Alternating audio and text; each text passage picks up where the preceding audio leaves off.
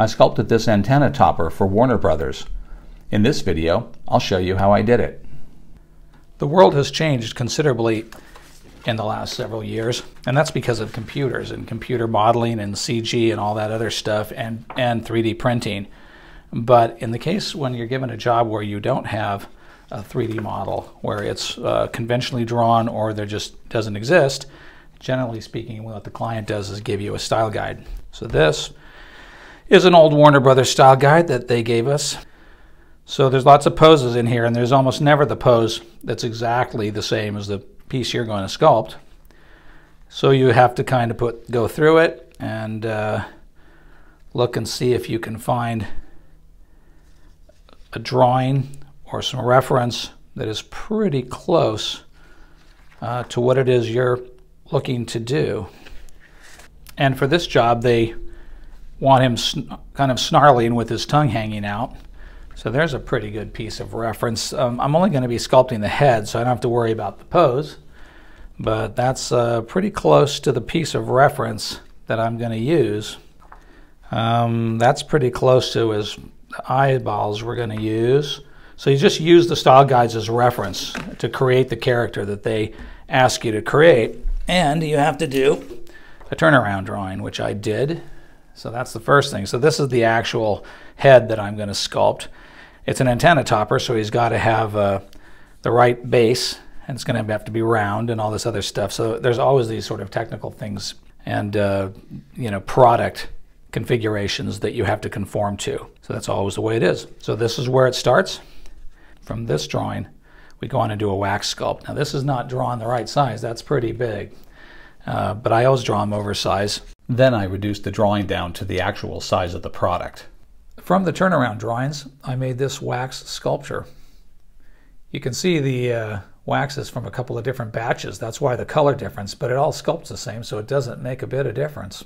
From this wax sculpture, we make a rubber mold, and from that mold, we make resin castings. I'll show you all that process in this video. This is the Tasmanian Devil. Warner Brothers owns him. So don't copyright strike me. I did this job for Warner Brothers at their request. They paid me to do it. So uh, not claiming uh, that this is one of my own uh, characters by any means. So anyway, never mind all that. Let's go forward. Let's put a mold around this boy, cast him up, and uh, you can see that part of the process. Silicone rubber is a two-part system, the rubber and the hardener. Here I am shaking the hardener before use. I've estimated that the mold for Taz will weigh about 300 grams. So to find the right amount of hardener, I divide by 11. 300 divided by 11 is roughly 27. So here I'm dispensing 27 grams of the hardener into the cup. I always weigh the hardener and dispense it into the cup first because that makes it much easier to mix the rubber later. I'm going to need 270 grams of rubber.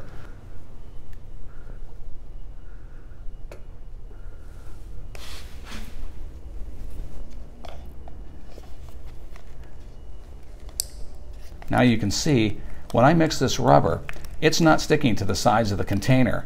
When you put the rubber in the container first, it really sticks to the sides of the container and you have to do a lot of scraping to try to get the rubber off the sides. This way it mixes really easily and really efficiently. Um, it took me, I don't know, about 15 years to learn that trick. I pass it on to you here for free. Put the, the hardener in the container first and you will have a much easier time uh, mixing the rubber. Now one thing you'll notice is that I, it doesn't really look like it, but I am mixing a tremendous amount of air into the rubber along with, you know, thoroughly mixing the two parts. You can see there the bubbles starting to rise in the rubber, and they will rise out by themselves, but it's much faster and much more efficient to pull them out with a vacuum chamber. So now the rubber is in the vacuum chamber. I'll put the lid on hit the switch, close the outlet valve, open the inlet valve, and away we go. Now this pump will pull 29 inches of mercury. That's a very, very strong vacuum. And as it does, the rubber rises. you need to have about uh, two to three times the volume, empty volume, in your container to allow the rubber to rise. Otherwise, it will rise up out of the container, spill all over everything, and make a big mess. So you need to have a big enough container to allow for the rubber to rise. That's done. Let's pour it. This is sped up considerably here. The pour goes fairly slowly, but I always pour molds so that the rubber rises from the bottom. That way air is pushed out uh, away from the model and out of the cup. I mixed up the correct amount of rubber, but I'm going to under pour it here to show you this next little technique. This is a trick I learned a long time ago. If you didn't weigh out enough rubber to fill your mold, you can cut up old molds that you're no longer using into little chunks and push them in to fill the container. Uh, what doesn't work is trying to put a bunch of chunks of rubber inside the container and then pour the rubber around it because that invariably uh, catches bubbles and, and creates voids inside the mold. So that does not work. But this technique of pushing them in from the top is excellent uh, and makes very high quality molds and recycles old rubber. So we do use it quite frequently. It's the next day. It takes 24 hours for the rubber to cure completely. And here I'm cutting the mold free from the cup.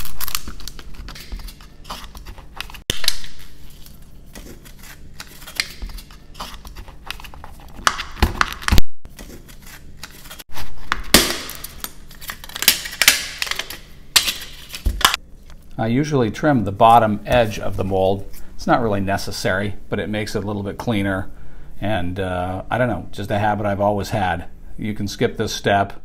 Uh, I always do it. it. Takes a second. So now I need to cut the wax model free from the mold. So what I'm doing here is looking to see what the orientation of the model is inside the mold. I can get just enough clues from looking at it to figure out where I want to make the cuts.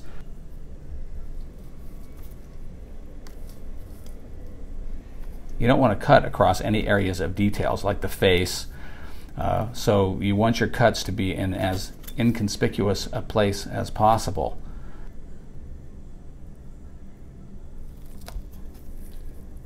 Uh, if you notice, I'm making the cut very jagged.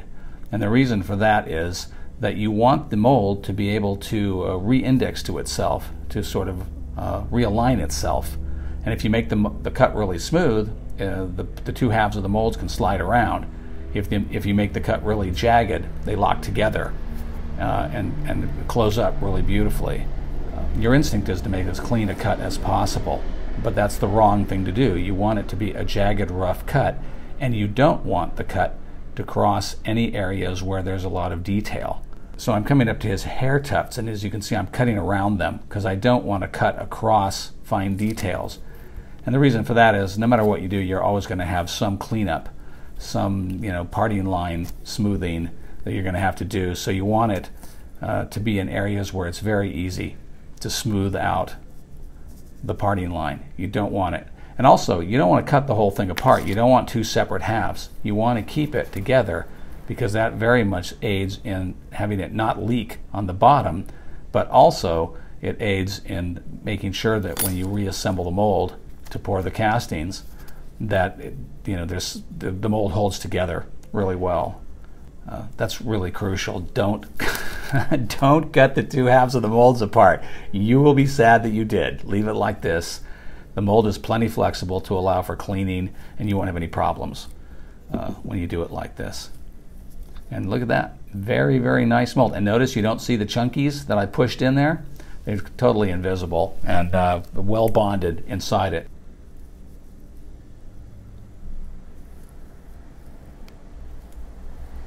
And then look how the mold halves fit together. That's what you want to see.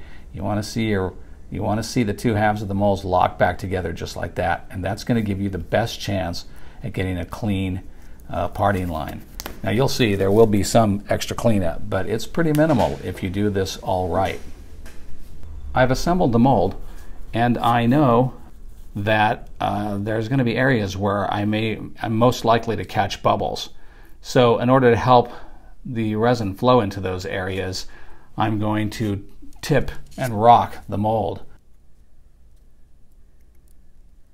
That little notch I'm cutting just reminds me when I'm pouring the mold what direction to tip and rock as I'm doing here, the mold.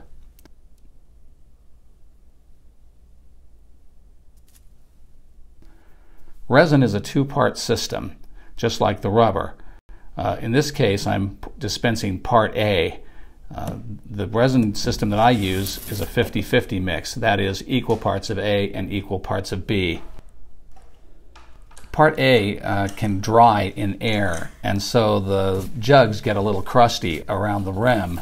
So I'm always careful to wipe off as much of the resin as I can before I close the jug back up it's very important uh, that you put the lids on the jugs and that you keep air out of the jugs because air contains moisture and moisture is the enemy of urethane resin. What happens with moisture is that it causes it to foam and get a tremendous amount of bubbles. This is the B side resin. As you can see, it's clear, not amber colored like the A side. I'm going to add a little bit of pigment to it whenever you add pigment to resin, you always add it to the B side. I, I really don't know why, but that's the way it's done. I'm just going to add just enough pigment here to make a nice pale orange colored casting. Just like with the rubber, we use the old balance beam scale to dispense the correct amount of resin. I already know the amount that I need to weigh out because I tested it. Figuring out how much you need is basically a process of trial and error. Here I put part A and B into the mixing cup and I'm stirring them together.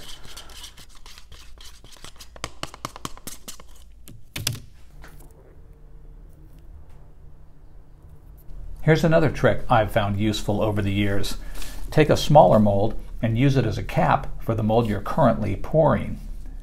So now I'm, I'm doing the shake and rock and roll thing, hoping to get most of the places where bubbles could get trapped uh, in the details of the face out of there. Into the pressure pot it goes, and we will let it sit under about 80 pounds per square inch of pressure for 20 minutes.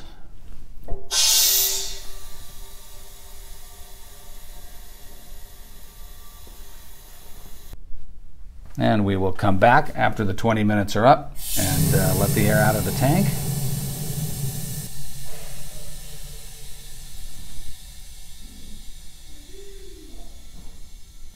And pull the casting out of the tank.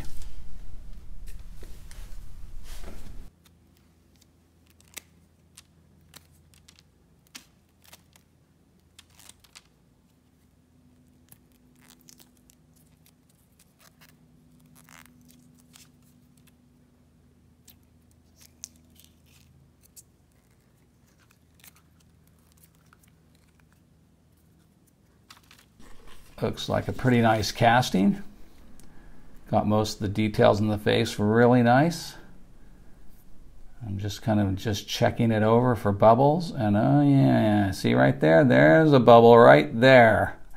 Um, but it's in a good spot because it's easy to fix and it'll never show and you'll never see it.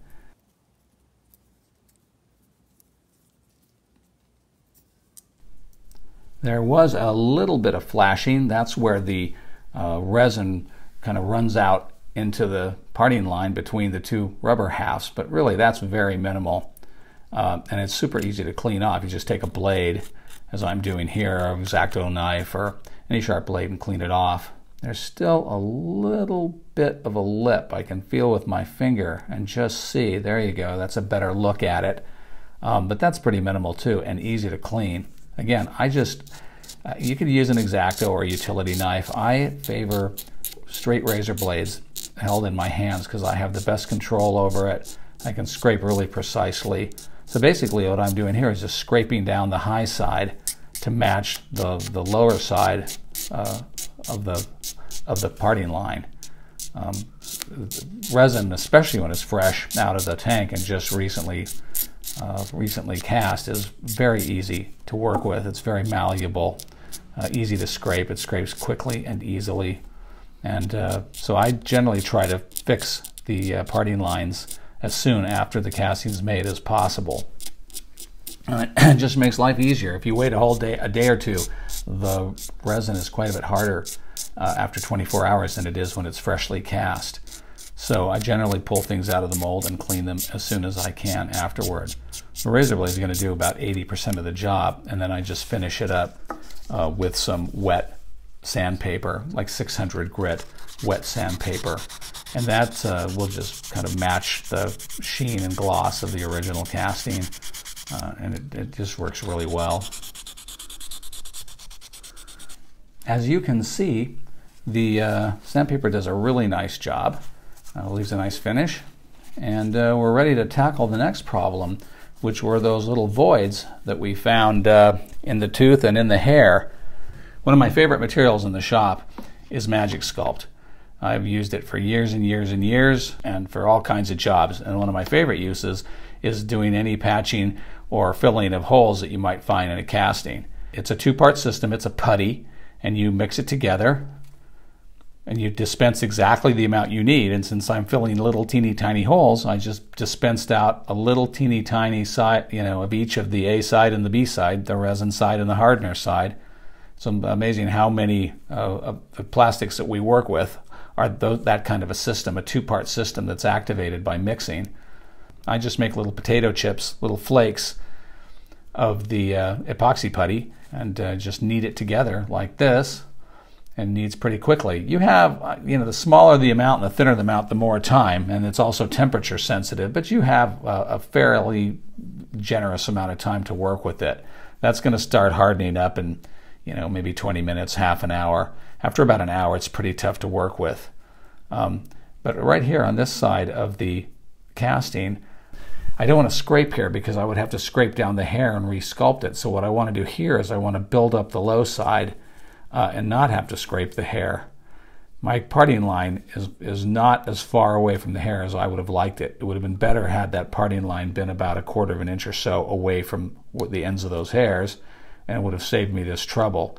But really, it's pretty minimal. So I'm just going to putty up the low side, build up the low side, and then come back in. I'm going to do most of the work here with the putty. I'm going to make sure that I make a nice clean putty job um, I like to work with the putty, not with sandpaper.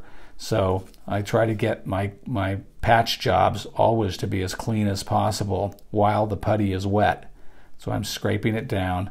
The more work I do here is the less work I do later with sandpaper, and I find it much easier to work with wet putty to make a clean repair uh, than to work with sandpaper to try to resculpt the fine details. I finished the patching and filled the holes in the tooth and in the hair. I let it sit overnight, and then a very minimal sanding finished the job. After the parting lines are clean and the bubbles are filled, uh, it's time to prep the casting for painting. My first step is to rub the surfaces down with superfine 4-aught steel wool, followed by a bath in acetone because the last prep step is to spray the piece with primer. Here I'm using Rust-Oleum primer, but we also use Krylon. Both of them come in gray and white, and either color works fine. I always put a couple thin coats of acrylic gesso on top of the primer in preparation for laying on the colors. I like to spray the primer on in several thin coats. It, the good news is it dries really fast, so you can just keep uh, spraying and turning the model and hitting it from all different angles. What you don't want to do is try to lay on a really big, heavy coat, uh, which might wind up running, dripping, or filling in the details. Well, I've showed you everything, and now it's time to paint old Taz, right? Wrong. I'm not gonna paint him, and you know why? Because I don't want to mess with PMS. Not that PMS. This PMS, the Pantone matching system. The client specifies the colors of the character using the Pantone matching system. It's an industry wide system for matching colors. That way, printers and manufacturers and artists, designers, everybody uh, knows exactly what color is being referred to. For instance, uh, say to paint Taz's tongue, it's number 486, and that's this kind of pink color, and then you know the exact shade of pink to mix. But here's the thing we have to custom mix the paint to match the PMS swatches. And as you can see here, when acrylic is wet, it's a completely different color than it is when it's dry. So color matching is really a process of trial and error. it often takes us longer to match the colors than it does to paint the actual model. For that reason, I think matching colors in painting is a subject worthy of its own video. Here, at long last, is the finished painted model. And here's the antenna topper. Thanks for watching the video. I hope you got something out of it. See you in the next one.